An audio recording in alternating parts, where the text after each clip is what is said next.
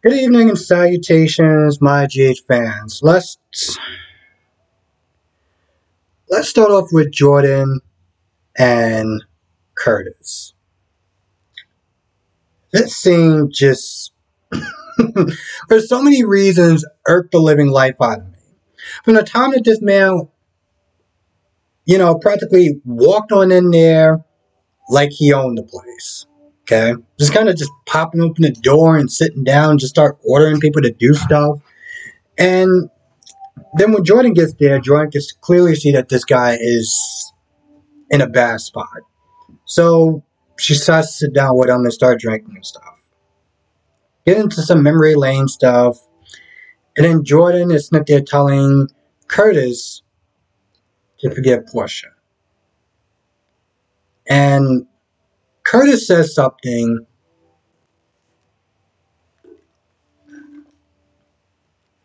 Curtis says something that for a very long time people are going to be super annoyed about.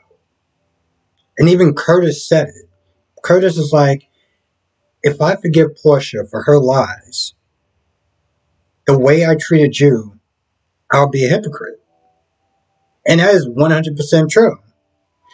Then Jordan says something that was just completely and utterly ass backwards, and it still is not making sense to me.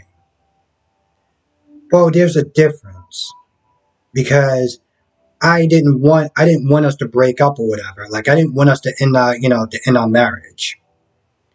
And Curtis, like the POS, the egotistical jackass that he is, was like, well, why didn't you fight harder for us? Are you kidding?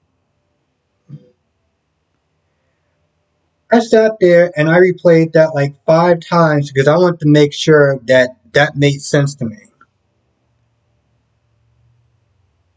The ego in this man, to even say something like that is just, um, wow. wow, is all I gotta say.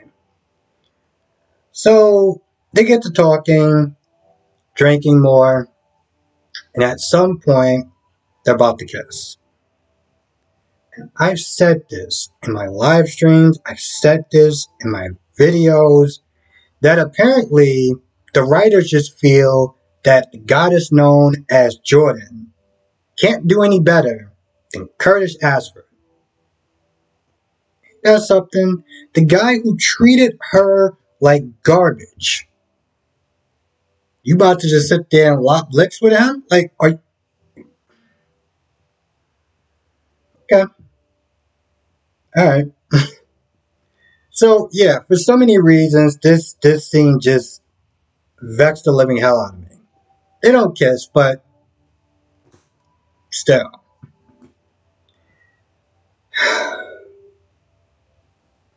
So Trina comes in and she finds out that Esme is not there living with Laura and Spencer. And she's not too happy about it. But she also wanted her out of jail, so, you know, it is what it is. The rest of the scene seems like it just goes nowhere. You know, there's some talks with Laura and Esme, and they're talking about the baby, and she talks about how she wants to do better and how she didn't know she can even trust them because of Heather and everything like that. It, it, it really just goes nowhere. And the same thing with Spencer and Trina. Unless you are a fan of Spencer and Trina, and I know the name for it, I'm not going to say it because I'm just not going to say it. Um, but unless you're a fan of, of these two characters, this is a scene that doesn't really go anywhere. They're about to kiss, but then Esme comes in there, and then Spencer makes up some awkward lie about how, you know, PCU classes and how he could sit there and take the baby there because of daycare or something like that. And, you know, she's just like, nah, I'm cool. I can, I, I got this. You know, I'm a, I'm a mother. I'm, I'm good. And it just really goes nowhere. This whole scene just seems like it's just I don't want to sit there and say it's pointless, but it doesn't really move the storyline anywhere. So again, unless you're a fan of those characters, yeah. Um So, surprise, surprise, surprise, no one, Gregory's sick, which surprises no one. After about 40 something minutes of Alexis there nagging and keep assuming that this man is an alcoholic, um, he tells her the truth. Tells her the truth, and of course, she tries to tell him how to handle it as far as, oh, why, why doesn't your sons not know, and this, and the third, and I'm like, bro, you are treating this man like y'all been married for years and y'all got four kids. Y'all are friends at best. And even right now, I'm, they, they even use the word friendship is, um, you know, kind of muddied up at best. I get that she wants to help him. See, the thing is, Alexis's heart is in the right place. How she's going about it, accusing this man of being an alcoholic for 40 something minutes, and then trying to pressure him into, oh, I can sit there and help you. I can get you. I can get this. I can. I can. You know, be there for you. You shouldn't be alone. You shouldn't be handling this alone. It's like this man has been an adult for fifty something years. Okay, let him rock. Let him decide on how he's going to sit there and handle this situation. If he needs you, he'll be there for you. You, you know, you'll be there for him. take a couple of steps back and breathe. So he walks off and she just stands there with that stupid look on her face. And you know at this point, Alexis's going to do something to let Ben and Chase know about his diagnosis. Even though that's not what he wants and that's not his wishes, she's going to do it by accident because she's an idiot. So there's that.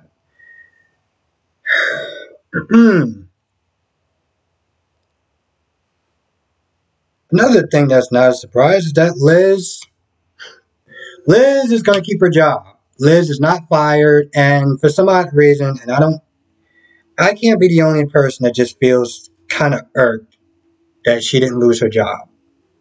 And not only did she not lose her job, and I think this is the whole scene that just really kind of irks me a little bit. Not only did she not lose her job, but after everything was said and done, one of the one of the um one of the guys from the committee comes out and praises Liz for you know giving medical care to a woman that was pregnant and stuff like that, and you know it's really just really just praising her. The reason why this scene is just kind of bad in a lot of ways is that I feel like this would be more of a Liz dream sequence where it's like, you know, the night before she has a dream, and like one of the dreams comes up that she's pretty much kind of praised and celebrated for not only practically breaking a law and just, you know, aiding and abetting, but getting her job and being praised by so many people. Because that's literally what wound up happening. And after that, Violet came in and they all just practically lived ever after, happily ever after, going to go get spaghetti with Cam and the boys and everyone else. That's literally how that scene went. I don't know. I just I feel like I can't be the only person that's just like, really, like, really, not even a not even a suspension period or anything like that. Just I mean, granted, we all knew that she was going to get her job back because let's be honest, it was either that or painting, and that woman hasn't painted or talked about painting in, well, years. So we knew it was not going to be that. So, yeah, not exactly surprising right there. Hmm. There's some scenes that just seems like they're somewhat pointless, like the scene with Marshall and um Portia. Seems like it just seems pretty pointless. They just talk more about his diagnosis and how, it, you know, it was the wrong diagnosis. And, you know, Marshall's just like, so were they just guessing or whatever? It seemed like they didn't really take their jobs too seriously. And just kind of points out that, you know, medicine and stuff like that was very different back then. And kind of gives some sort of explanation to why they might have misdiagnosed him and also talks more about Curtis and the whole scenes again just goes nowhere. Um, You know, in a lot of ways, if they move this storyline, what I one one path where I think they're going to move the storyline is that we're going to be pulled right back into two years ago, where he is kind of going along and getting along with Portia, but starting to migrate towards Jordan. It's like right back where we started with Jordan and him migrating towards Portia, except for it's just going in reverse. Which um I gotta say, I feel like the GH fans deserve better than that, but um yeah. Now let's get into this whole Cody and Sasha and Maxie scene because Maxie's that they're talking about the, the nurse's ball because that's pretty much all she's been doing for the past I don't know however long she's been talking about it for. Cody comes in there and Cody makes Cody makes Gladys uncomfortable. Okay, talking about oh yeah I remember you and this that and the third and yeah so you have this void and everything and you know he makes it seem like he's about to sit there and expose Portia for her her you know gambling and stuff like that. The poke the poker games. He's like, oh yeah, it was it was ladies' night. Yeah, that's what it was. And she's like, oh okay. And then Maxie drags him out of there to talks about pretty much how she wants him to be Magic Mike. I know they call it Magic Milo, but come on, let's, let's be honest. That's, that's literally what it is. And there's there's a part in there that just makes me laugh. And I don't know if it's an ironic laugh or, or whatever laugh you want to sit there and call it. But she's trying to convince him, oh yeah, we want to sit there and do this whole, you know, coyote ugly thing, but except for it's boys that's doing it or whatever. And it's for a good cause and it's not expl it's what does she say? It's not exploiting men. Oh, it's not. So getting him to dance half naked, that's that's that's not exploiting men. Oh no no no! It's it's for it's for charity. It's for charity. It's for a good cause. Oh okay. Well, when you put it that way, there's no way that could possibly exploiting men.